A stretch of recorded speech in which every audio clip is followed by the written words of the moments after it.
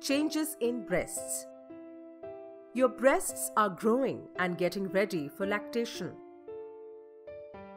During the first pregnancy, most women increase a cup size or two. If you see dark veins on the skin of your breasts, then do not panic. These veins are known as varicose veins. This is normal and happens due to increased blood supply to the arteries of your breasts.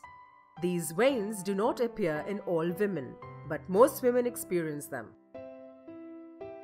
You may notice change in color of skin present around the areolas. This also occurs due to increased blood circulation. Small glands on the surface of areolas, also known as Montgomery tubercles, develop during this week. The nipples grow larger. The nipples and small glands on areola may begin to secrete colostrum. Colostrum is a yellowish thick substance that is often known as high octane milk.